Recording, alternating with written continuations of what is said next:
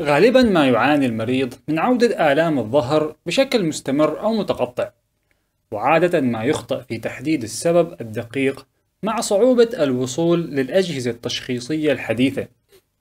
الشد العضلي وعرق النسا والانزلاق الغضروفي سواء الطرفي والمركزي والانزلاق الفقاري سبونديلوليثيسز هذه حالات شائعة جدا ولكن علاج كل حالة مختلف تماما.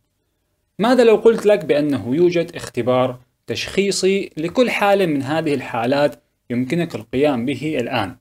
السلام عليكم أنا الدكتور فارس عرب وهذه الحلقة شرح الاختبارات الطبية اليدوية الخاصة بتشخيص ألم الظهر.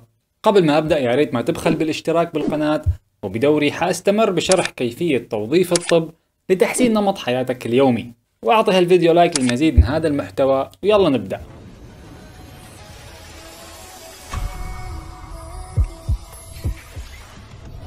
لا يمكن الاعتماد على الأعراض فقط لتشخيص ألم الظهر.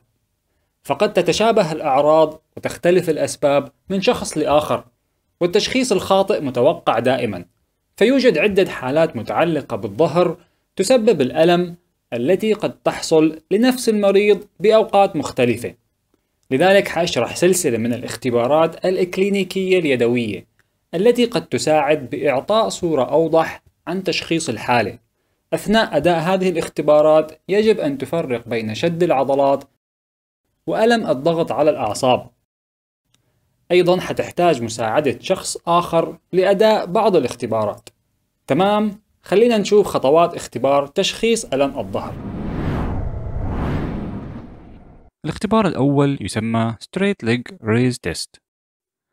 هذا الاختبار هو الأكثر شيوعًا في تقييم احتمالية الضغط على الأعصاب المركزية أو الطرفية بسبب فتق القرص الغضروفي أو prolapse disc. وضعية الاختبار إذا لم يتوفر شخص حولك ليساعدك على أداء حركة هذا الاختبار استخدم حزام التمرين أو أي حزام آخر وثبته حول مشط القدم المصابة ثم استلقي على ظهرك واسترخي تماما للقيام بالاختبار ارفع الساق المستقيمة بيديك ببطء بدون شد عضلات المفاصل السفلية. بهذه الطريقة. سيبدأ ظهور الأعراض في نطاق يتراوح بين 35 إلى 70 درجة من انثناء مفصل الفخذ. إذا ظهرت أعراض قبل أو بعد هذا النطاق فهذه الأعراض مصدرها تشنج عضلات الساق أو خشونة مفاصل العمود الفقري. spondylosis أو التهاب المفصل العجزي الحرقفي ولكنها ليست بسبب الانزلاق الغضروفي. لزيادة تأكيد الاختبار أنزل الساق قليلا ليخف الألم ثم ارفع الكاحل باتجاهك أو ارفع الرقبة للأمام. إذا ظهر الألم مرة أخرى فهذا دليل قاطع على وجود ديسك يضغط على أعصاب النخاع الشوكي. الأعراض المتوقعة هي ألم حاد أو حرقان أو تنميل أو وخز في أسفل الظهر أو أحد الساقين أو كلاهما. في نطاق ظهور الأعراض. الاختبار الثاني Slump Test Distal Initiation يختلف هذا الاختبار عن السابق بأنه أكثر دقة في تشخيص الديسك الطرفي. Foraminal Stenosis. وهو انحباس مخارج أعصاب الحبل الشوكي. وضعية الاختبار. اجلس على حافة كرسي طويل بحيث ترتفع الأرجل عن الأرض. تأكد أن الحوض مستقيم وغير مائل لأحد الجانبين. الآن لف يديك خلف ظهرك. للقيام بالاختبار ارفع الركبة المصابة لأعلى ثم ارفع الكاحل باتجاهك بهذا الشكل. الآن احني الظهر والرأس للأمام لأقصى حد ممكن. إذا ظهرت الأعراض في أي مرحلة من هذا التسلسل يعتبر الاختبار إيجابي. الأعراض المتوقعة هي الشعور بألم حاد أو خدر أو حرقان بأسفل الظهر أو أحد الساقين بأي مرحلة من مراحل الاختبار.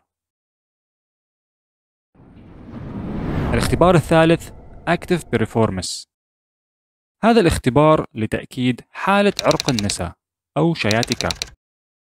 وهو الألم المنتقل من منطقة الأرداف إلى أسفل الساق الناتج عن انحباس العصب الوركي sciatic nerve بين العضلة الكمثرية piriformis وعظمة الجافية. وقد تشمل الأعراض عدم القدرة على الجلوس طويلا والعرج أو فقدان الإحساس في الأطراف المصابة والألم الليلي الذي يتحسن أثناء النهار والمشي. وضعية الاختبار. إذا لم يتوفر شخص حولك ليساعدك على أداء حركة هذا الاختبار ضع حزام التمرين حول ركبتيك. وتمدد على جنبك السليم. واثني الحوض والركبتين 45 درجة بهذا الشكل. للقيام بالاختبار ارفع الركبة لأعلى بالدوران الخارجي من مفصل الحوض. وقاوم الحركة بالركبة السفلية بهذا الشكل يعتبر الاختبار إيجابي إذا شعرت بالألم أو التنميل المنتقل من الحوض إلى أسفل الساق. الاختبار الرابع ساكروإلياك بين بروفوكيشن هذا الاختبار يفحص ألم المفصل العجزي الحرقفي. يعتبر المفصل العجزي الحرقفي مفصل ثابت، إلا أن فيه درجة إلى خمس درجات من الحركة. سبب الألم بالمفصل هو الاصطدام المفاجئ. ويسبب ألم مزمن في أسفل الظهر أو الحوض ويزداد خاصة عند الوقوف من الجلوس أو المشي. وضعية الاختبار استلقي على جنبك السليم وارفع الحوض والركبة لزاوية 45 درجة بهذا الشكل. للقيام بالاختبار اطلب مساعدة شخص آخر للضغط على أعلى الورك للأسفل بوزن لا يتعدى 25 كيلو. يعتبر الاختبار إيجابي إذا شعرت بألم حاد أو بالخدر أو الوخز المنتشر من الوركين لأسفل الظهر ونزولا إلى الفخذين.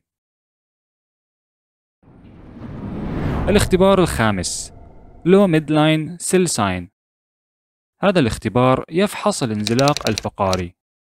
spondylolisthesis عندما تنزلق إحدى فقرات عظام العمود الفقري من مكانها على الفقرة الموجودة تحتها. في معظم الأحيان يمكن علاج الحالة بدون جراحة، إلا إذا كان الانزلاق شديد، فإن الجراحة هي العلاج.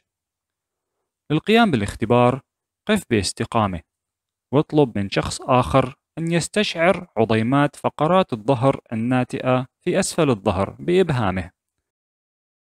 في حال وجود الانزلاق الفقاري سيرى بروز مختلف للفقرة الأخيرة والضغط عليها مؤلم جدا للمريض إذا تم الاختبار بشكل صحيح هذه الاختبارات تساعد كثيرا في تأكيد تشخيص ألم الظهر ولكنها لن تغني بالكامل عن زيارة طبيبك الخاص ألم الظهر يجب علاجه بأسرع وقت حتى لا يؤدي لتلف أعصاب دائم. أخيرا إذا وجدت نتيجة جميع الاختبارات سلبية فعلى الأغلب أنت تعاني من شد عضلي بأسفل الظهر ويمكن علاجه ببساطة بتمارين الإطالة وتحسين نمط حياتك اليومي. لهنا خلصت كلامي لهذه الحلقة. أخبرني بنتائج الاختبارات في التعليقات. للمزيد من الحلقات تابعني على اليوتيوب أو على الفيسبوك والإنستغرام. معكم الدكتور فارس وأراكم بالحلقة القادمة إن شاء الله. واعتني بجسمك لأن روحك تسكن فيه.